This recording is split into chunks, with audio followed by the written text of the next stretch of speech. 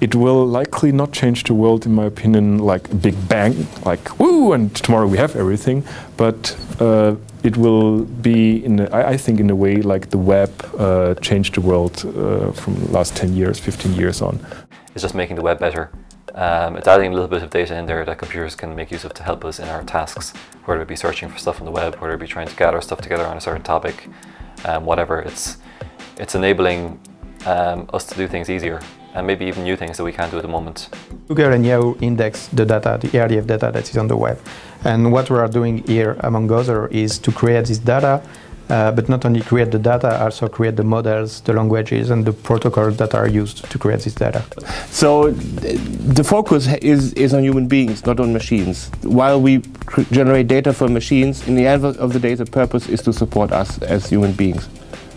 Well, the immediate benefit is that it improves how people can cope with the vast amount of knowledge on the web, which nobody can actually do in a reasonable manner uh, anymore. Because a lot of people that we work with are not technology minded. They're not focused on semantic web. We have to explain that, what that is to them. We have to explain what ontologies are and what all this business is. And in a lot of cases, you get a thousand yard stare. So people don't understand. So what we have to do is show them. Here's an example.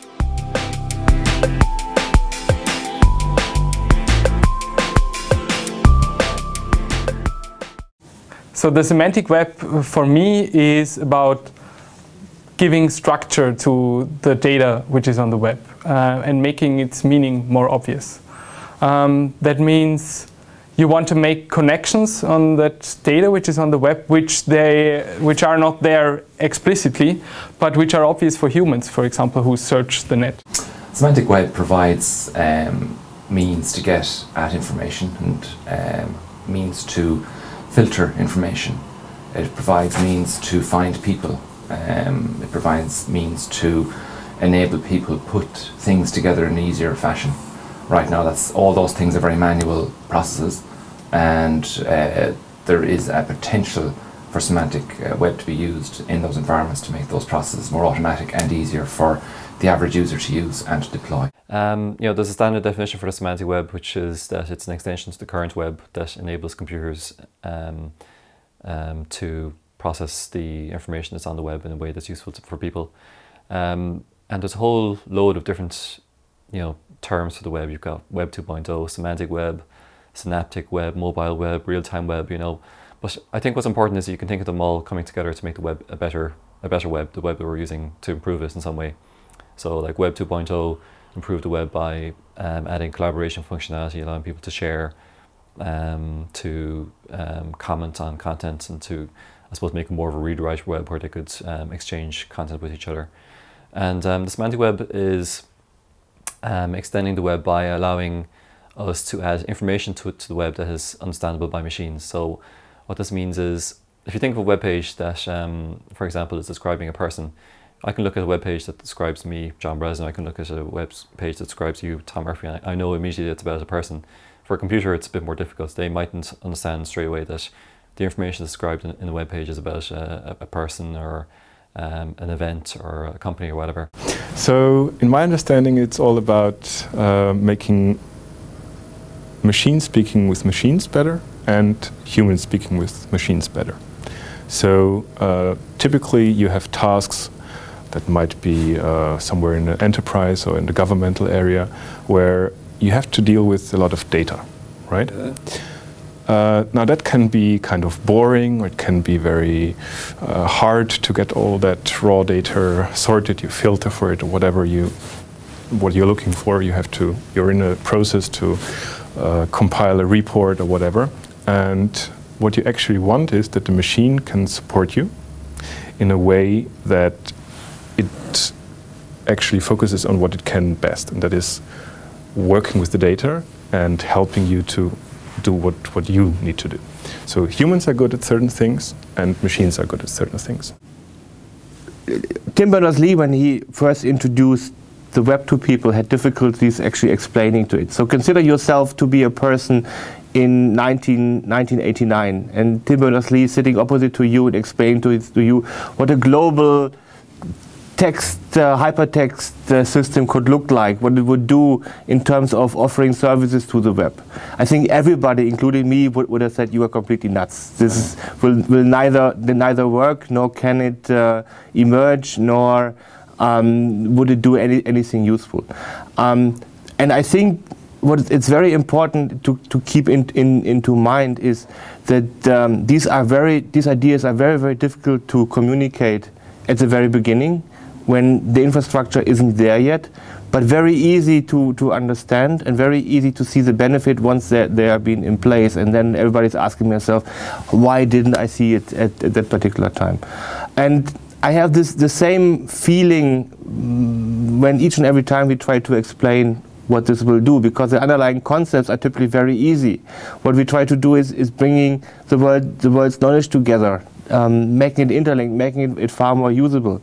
Uh, but explaining how it will look like and what it will do is in fact very difficult if you didn't have first-hand experience uh, in, in just trying um, out what, what, what is happening. So I think what is very important for all of us is to come up with credible demos that really shows the benefit the idea of the semantic web is to make the make the web more, um, let's say, smarter in the sense that the current web that we have is a web of documents. So you can read documents and you can link one document to another, but a computer cannot understand what's on the pages.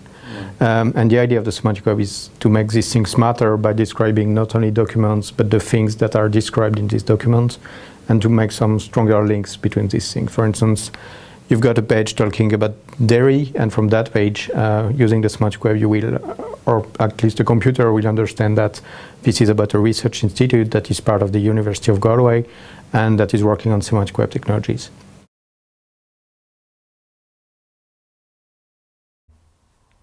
So why do we need it, or, or uh, what's what's useful about this?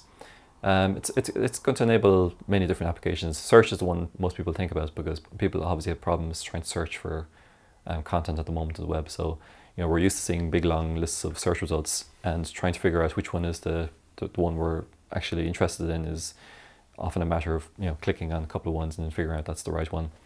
If you can actually augment search results with a little bit of extra semantic metadata from that's gathered from a, page that has semantic information behind it, you can actually make it easier to decide what you're going to click on. The web has grown tremendously over the last couple of years. It's now a fundamental part of society. But we are all experiencing also the limits of uh, what the web can do for us. And we want to push this, these limits um, and want to go beyond what is currently possible. Link uh, all the information and all the knowledge that can exist on the web uh, so that you can more easily find what you need and also um, more easily uh, browse information from one uh, part to another. So it's yeah, basically a more convenient access to information. You, but you could, with the data which is available, you could get these connections much more immediate. You could um, be able to answer much more structured queries. You, so you could an answer questions which are connected. So for example, you could answer questions for um, what are my friends currently listening and are there any concerts of, of these uh, bands performing around my area? To a database, we can ask complex structured queries. We cannot do this on the web. We can only ask very simple queries to, to the web. We can um, only find um, information by kind of poking into big files and information and getting maybe some smaller piles back, but then we still have to find ourselves our way through these smaller piles. So even if it's only, even if it would only be uh, about being able to get search results back and being able to answer complex queries on this big pile of search results which I get back, um, I would have uh, an improved experience already about web search. Well, oftentimes when you're searching for something on the web, you know what you're looking for in advance. And uh, it's very hard to tell a search engine that, yeah, just show me the stuff that's, that's about people, or just show me the stuff that's about events in, in a certain place. So if you type in Galway, you're going to get um, you know information about the city, probably some stuff about James Galway, the flutist, whatever. But you probably know when you're actually going to search engine that you're actually looking for things that are happening in Galway right now. So you want to actually be able to filter out by events in a certain time frame, ones that are coming up in maybe the next two weeks or in the next few days if you're only happening to be in Galway for a short amount of time. So it's, it's important to be able to um, know what it is that you're looking at when you're getting some search results back at you. So that you could say, yeah, I actually want to click on this one because I know it's about an event that's coming up rather than I know it's a, some kind of history of uh, a family that live in Galway or something else that's unrelated to what you're actually trying to do at the moment. So I don't know what's whether that's for you, but uh, the same. But um, maintaining knowledge in my inbox, maintaining my contacts in, in 10 social networks, um, trying to find the right information which I'm looking for uh, is, is not solved to a satisfactory extent with current technologies. Um, actually, it needs a lot of knowledge. So even researchers and scientists like myself, we have problems of um, finding the right information uh, or getting access to the right information. And it's a very long um, workflow of getting, for example, to some article which you're searching for, extracting the relevant knowledge from this article to pursue your own research. Um, and anything which makes, which speeds up this process um, is, is actually money. So it's, um, it's something which, which will, so any, any, basically any research which improves um, the efficiency of knowledge work um, is monetizable. So I think on the long run, this is uh, very important.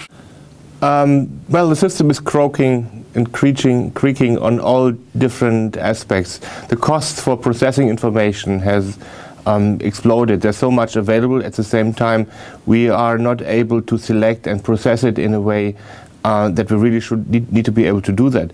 Uh, email boxes of the average person are right now overflowing. Um, at least um, if uh, it has, if they have um, a lot of different contexts and different projects that people need to work on. What we need to do is to give those people tools that enable them to deal with all this kind of different information, with all the different contexts, with everything that they now are getting uh, channeled uh, to from the digital channels that surround them. Well, I think the you can think that the semantic web might be more needed now because we get more and more data, uh, especially with uh, all this user-generated content that comes from blogs, microblogs, wikis, where everyone can contribute. If you take the web in the 90s, uh, most of the websites were um, kind of Berlin crossword. You got only a team working on the on the website to maintain the website, and now we get uh, with all these services, anyone can contribute. So we get more and more content, and we need smarter ways to make sense of this content and to understand it and to make uh, more efficient use of that content.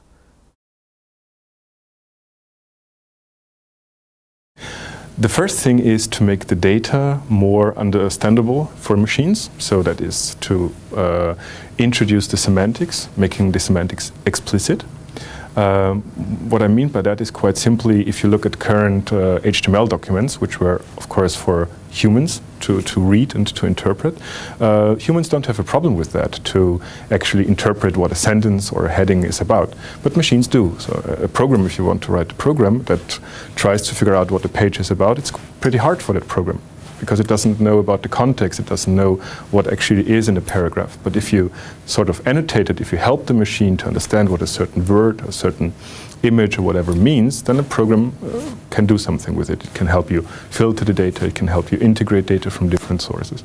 And that's the main thing what at least I'm after. So making this data more understandable for machines.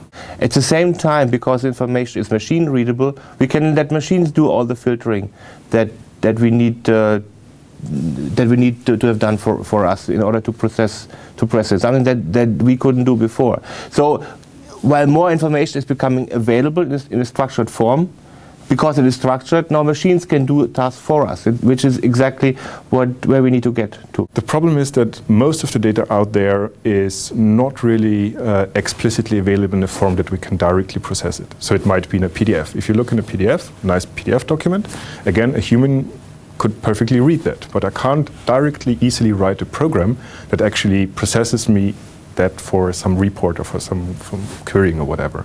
So it is available as PDF, as Excel sheet or whatever, but it's not available in a, in a kind of uniform format. And that is what RDF, and that's one of the pillars of the semantic web, actually comes in. It gives us a, a way, a uniform way to express this data. Now there's been a lot of efforts to publishing semantic web data embedded within normal web pages. So you'll have a web page, but behind the scenes there's a little bit of markup there. You've got different ways to add semantic web content on the web. You can either create new documents using uh, full uh, RDF to say, well, this is a new document that describes a person, and that person is working on that project or listening to that music. But if you already got an HTML page describing that person, uh, you can use this RDFA markup. So you still have your original HTML content, you still have the pages that we got today, but in addition, you add these simple snippets of code that says, well, this page uh, is about that person or is about that project or that song.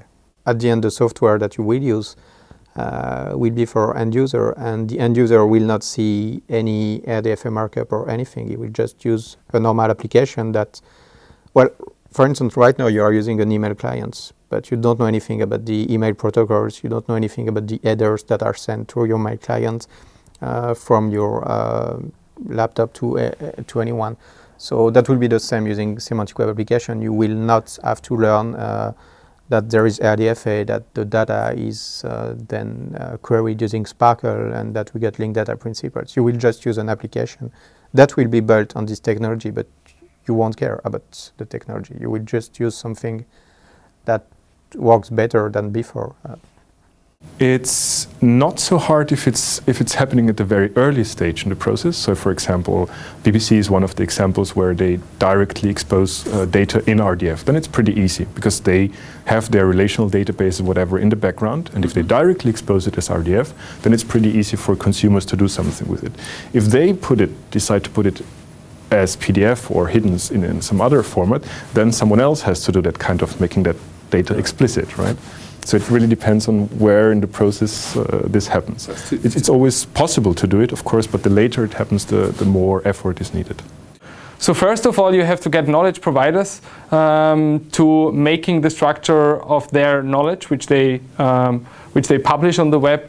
Um, to you have to get them to provide this knowledge in a structured form. So at least give me some hooks that you're talking about events, that you're talking about a band, that you're talking about a person, and not just writing plain text with um, with just words. Um, even there, I mean, with natural language processing, which is also a part of the semantic web, um, you could um, you could get out of some of the structure of, of just plain text.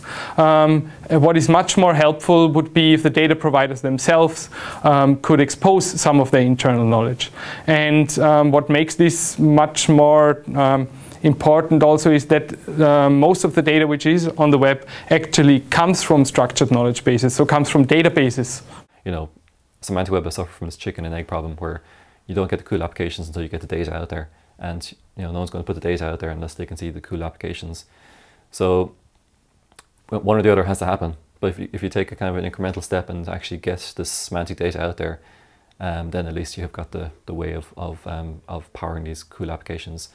And um, the fact is people are creating a lot of you know, rich, semantically rich data through their everyday activities on the web. They're even just commenting on something add some kind of weight to something that didn't have a comment on it before. You're saying this is more important than maybe it was previously, or you're adding a topic to something, or you're um, maybe linking something else. You're kind of enriching something um, just through your kind of activities, through creating content.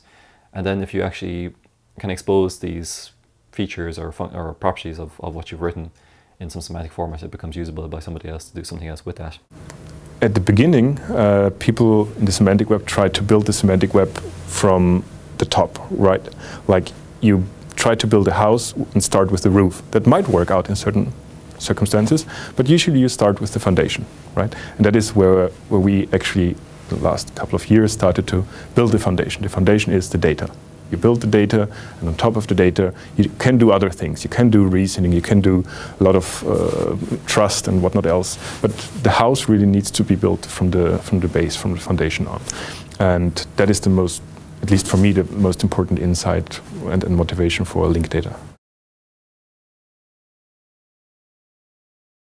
The, the, the less they have to try, the less, I suppose it's like this threshold that people have to cross the lower that threshold in terms of understanding is, the better it is for them. And the easier they'll accept the technology, whatever it is you're, you're showing to them. So I tend to focus on the functionality and I would say, this is what it does. And by the way, it does it because I've done all this other, other cool stuff in the background, but you don't necessarily need to know that. So I tend to not demonstrate the technology, but I tend to demonstrate ideas and tend to demonstrate this is how you would do it in the future if you use this technology. The, cat, the catchphrase would, in the end of the day, unlocking your own your own information and the value of your own in, in information. Seeing what you have done, what you are producing, what you know in relation what else exists there, rather than uh, just sitting on your own isolated island. There must be, uh, that's what kind of is agreed, there must be some kind of incentive for people doing that, right?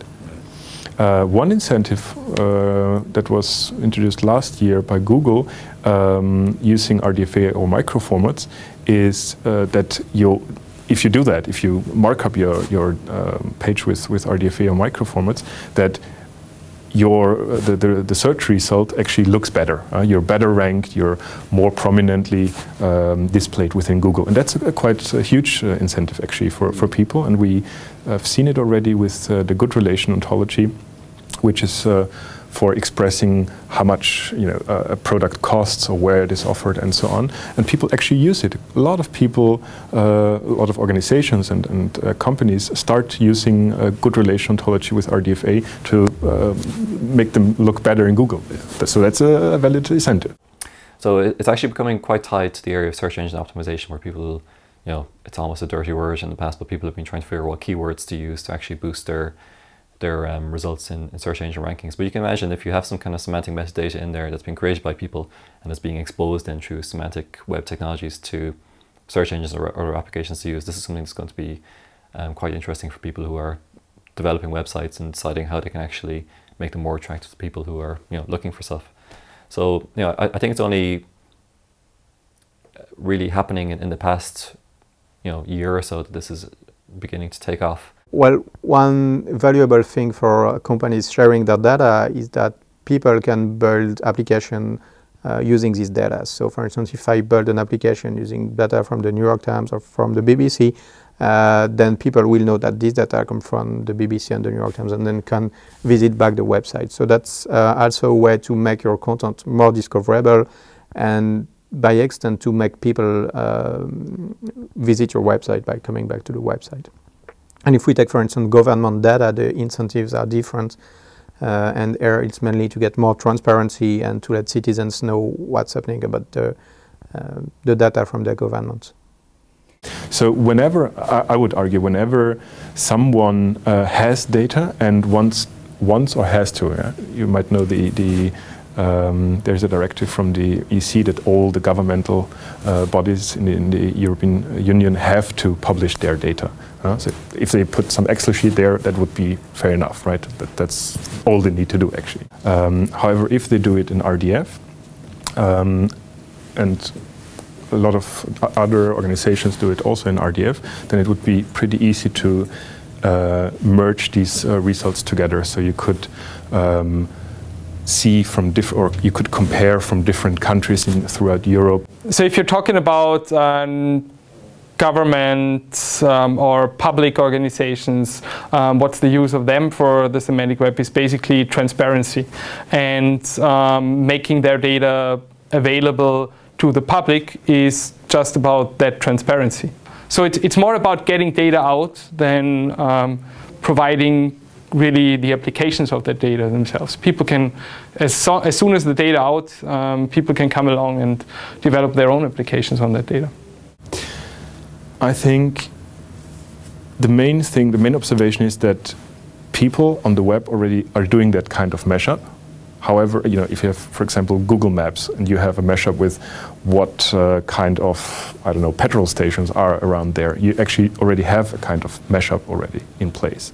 However, these mashups are kind of limited because they are developed against uh, a fixed set of APIs. So from, from a developer point of view, you always have to know what kind of data you can expect, and then you can do a one-to-one -one mashup. If you uh, want to enable that on a large scale, then you can do it, you best do it with RDF, with linked data, and then you can uh, do that kind of mashup with any kind of data sources, not only with the one which are uh, exposed and, and defined by big players like Google or others. And that's kind of, if you wish, a democratic uh, way of, of exposing your data and using your data. So a typical flow of, of um, information that I can saw happening over in the last couple of years is not necessarily in fact coming from from from corporations, but in fact going from corporations, going from the what is happening on the web on the internet to be used in corporation, I mean, on corporate or used in, in, in then in corporate environments. So you talk about wikis, blogs, mm. uh, for example, forums, online social networks. All those develop first on the web, sometimes incorporate small startups, but sometimes also just as collective community efforts. And then they, they grew big, and then they entered corporations. So um, and I think that's that's a very very valid way of uh, technology transfer or actually inflation of, of corporations been happening. So what I would would say to to the corporate IT guy is prepare your argument based on technology that already is being used and why it's being used and that's been adopted, and that there's a critical mass of, of people and users, a potential market already there or right now forming, and that gives you an argument that you can present to your corporate board or, it, or your manager. A quicker route sometimes to getting an impact with your technology is to work with somebody they have already worked with. So you work with the companies they've worked with and they, partner with them to find a way to add value to those existing products that you don't have to reinvent a complete product set that you can actually say, here's a technology. We have looked at it from the fundamental side, we, we've looked at it from the applied side, and we want to see if we can commercialize it with you. And that's really where that, that, that final loop happens.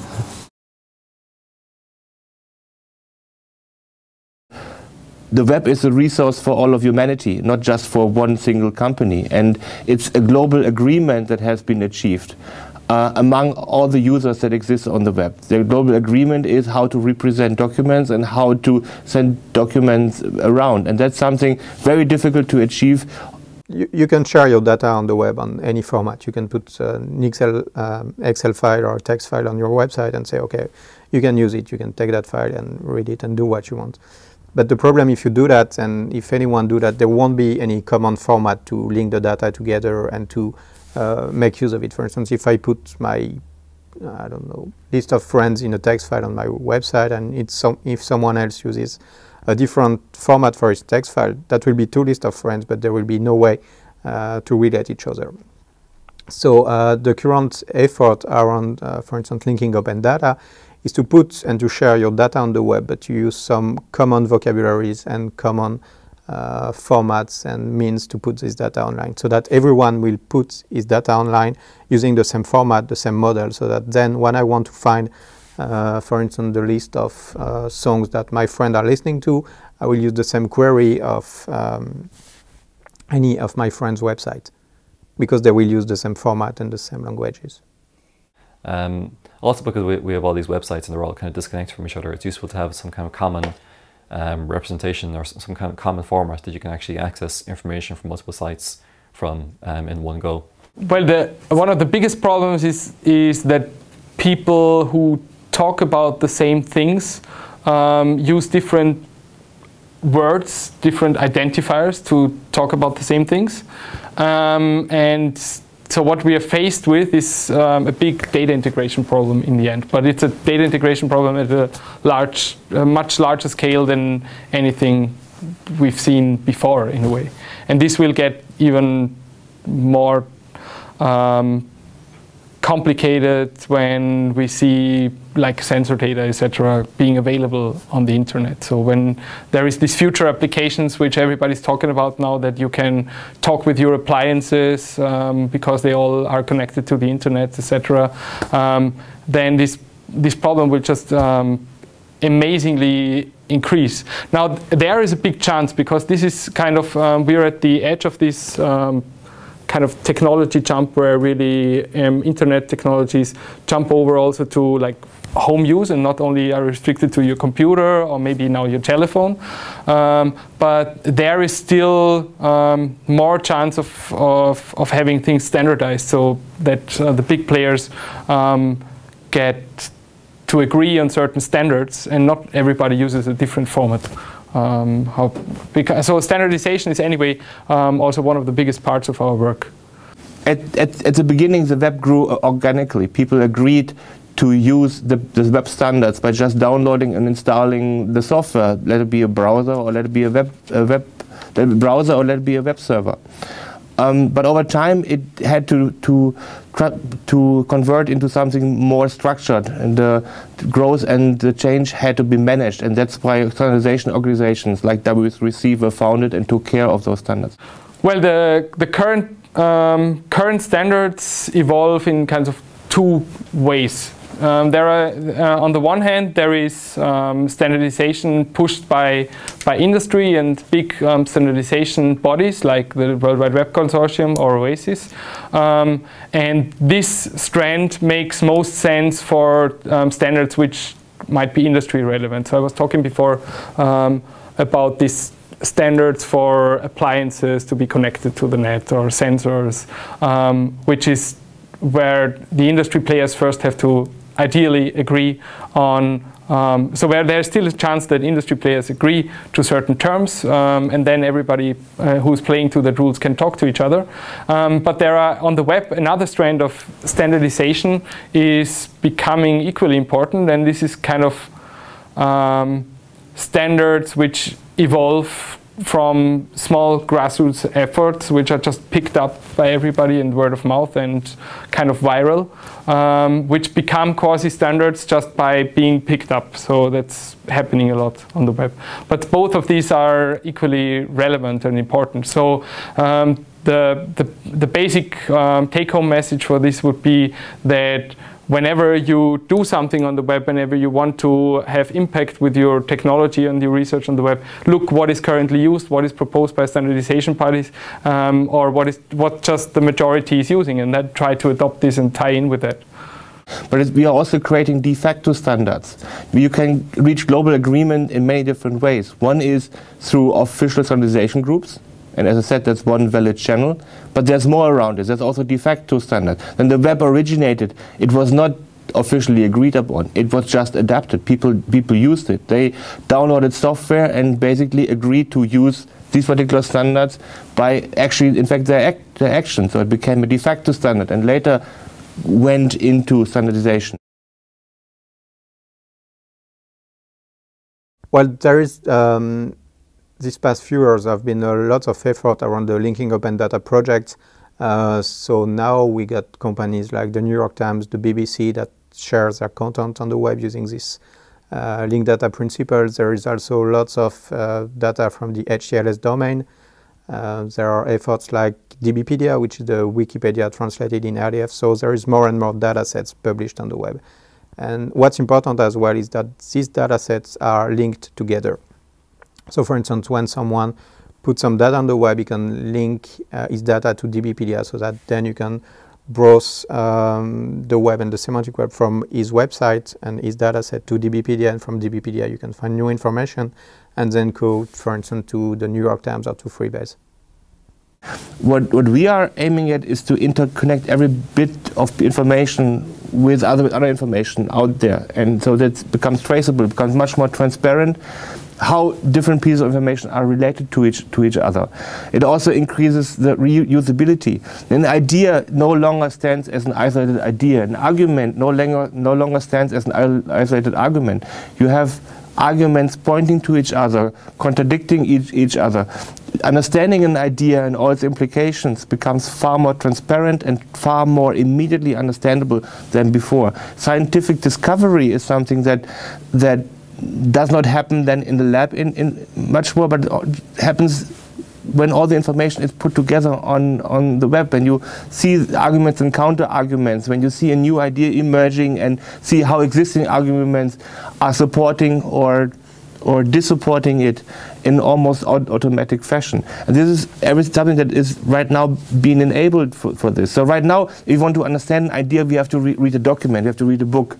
And we, we don't have, typically don't have to read one book, but tens, hundreds of, of different articles to get all the different arguments that, uh, in, in, in for a certain uh, uh hypothesis or against a certain hypothesis. Um, that, is, that then becomes a thing of the past because things are, become come together. I have I have a claim, I have a thesis, I have a hypothesis, and I know all possible arguments in favor or against it automatically because they are just present. They're just there somewhere on the web linking to this particular idea. And that is a completely new, new aspect. The knowledge generation aspect is, is completely new. Knowledge is becoming much more, less effort to actually use, to produce, but also, but also to contribute from, to contribute to. I think you could get smarter access to information, more uh, context-oriented as well. Um, so, for instance, geolocation can be uh, related to this information. Well, if you put more sense um, in the web page that you describe and in the, the pages and the content that is indexed by these engines, uh, search engines, uh, they can guess from who you are and where you are that the information won't be delivered the same way. Right. Um, that's one possible use case, and while we can, yeah, I think that while search is probably the for the end user one of the most uh, relevant thing, but I mentioned uh, biomedical information that is Yeah. public on the web, and that's also something that can have a great impact, not directly uh, when you browse the web, but for uh, biomedicine research, for instance, because um, one project is called linking open drug data, and they translated different uh, drug banks and other biomedical information and put them all together. So, from the biomedical research point of view, that means that uh, information about a particular drug and the disease and uh, um, all this kind of information that was there but not linked together is now more easily accessible. So, so consider the word knowledge being, being really available at, at your fingertips and not just an arbitrary knowledge, but everything and everything about a, a given aspect.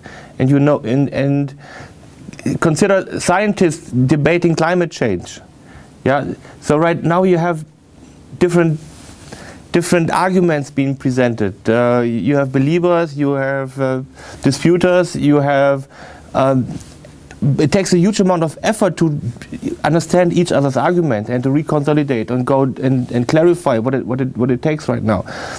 Basically, these kind of disputes then become almost become much more transparent because you can see all arguments how they're linked to each other. You can see you can try to, to find the flaw in, in, in one of the reasoning that each one of these groups is put, putting forward quite direct, a lot faster than, than, than right now. Because right now everything is encoded somewhere in either data sets or in, in, in a document which somebody needs to, uh, needs to read. And you have to, have to go to other, other documents. or to, to, to get a complete picture about what is really happening, you have to consult what God knows how many different information sources. That becomes a way of the past because all, everything is being pulled together. So the next stage um, is what I was um, mentioning maybe in the very beginning, um, getting closer towards um, real-time results, getting closer towards um, integrating um, information which is more current. Like I mentioned, for example, this current location aspect or um, or sensor data if you want. So if you search for weather conditions in in your hometown, you don't want to get the results of what was indexed by a search engine three days ago, but you want to directly uh, query the source of that information. Um, and getting this um, this data aggregated in a timely fashion with still providing reasonable response times to user queries, um, I think that's the next step to concentrate on. I, when we started about 10 years ago, um, it wasn't clear ex exactly how things would be going. It was more five people in one room uh, at, at, uh, at MIT at, at, one point of time, um, into something that is now really a worldwide effort where people are, are contributing. Um, if so, things have, de have developed quite dramatically, and with everything that um, has Zipfian characteristics. There's typically a phase of exponential growth, uh, which is following um, a very long, very slow growth. And I think we just entered the exponential growth growth phase. So actually, the first uh, we could say that the first 10 years of the semantic web were about building the foundations RDF, RDFS, all, all the languages to create this data. But there were no much, uh, apart from academics, no much big public efforts and on the web to create data, I mean to put data available. Right. So I think we are no more at the experiment side. We are, we might not be completely at the mainstream level, but there's, I think that's the currently the transition between the early adopters and the mainstream markets. There are as well uh, more and more discussions and business models around this public data. The web is allowing us to stand on the shoulders of giants. We have this huge source of information that we can make use of, derive benefit from, um, make decisions based on. Um, we may not be necessarily standing on the, the shoulders of the right giants, I suppose. We not, may not be getting the right information um, because it's not presented in a way that's meaningful or uh, attractive to us. So the semantic web allows us to actually know that the information that we're getting is the, the stuff that is relevant to us. It's on a certain topic and allows us to basically stand on the shoulders of, of the right giants. Um, allows us, it allows us to make better decisions to create richer content um, based on basically a, a, an improved set of information that we're getting in the first place.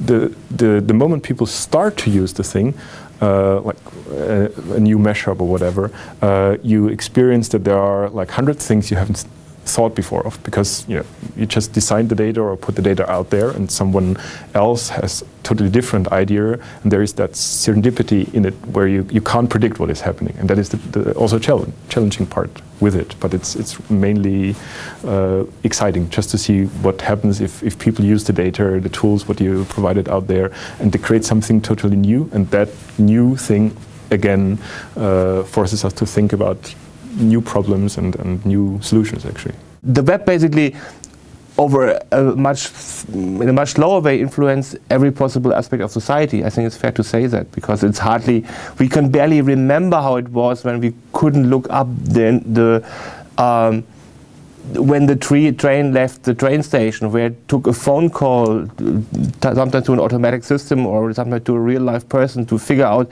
even the most trivial in, in, in information. It's very hard to go back to these days uh, again. So we sometimes we don't even realize how much the web actually has changed our the way how we deal with information and how we deal with, with go on with, with our daily daily lives.